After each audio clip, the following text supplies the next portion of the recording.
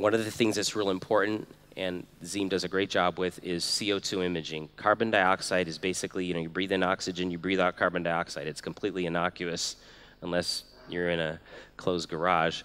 But when you give iodinated contrast to a patient with renal failure, you can hurt the kidneys.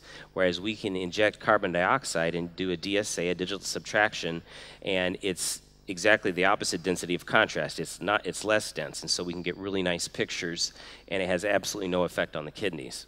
So this this 85 year old has a creatinine of 1.6. He has a wound on his heel. I hope doesn't everybody has a strong stomach, and that's because uh, the blood flow drops off in his midfoot, and we did a CO2 angiogram. So you can see we see the vessel pretty well, the superficial femoral, the popliteal. Uh, you see just to the tibials, and his then we converted to contrast, and he has really nice flow until the ankle. And at the ankle, he has super, super calcified arteries that are both closed here and closed, these little short closed areas. And so we use some, fancy, some of our fancy techniques to burrow through that, angioplasty it, and restore flow. So we now have a nice wide open vessel right to the heel. So the blood's going right there to the heel, and we can get this, we can get this closed.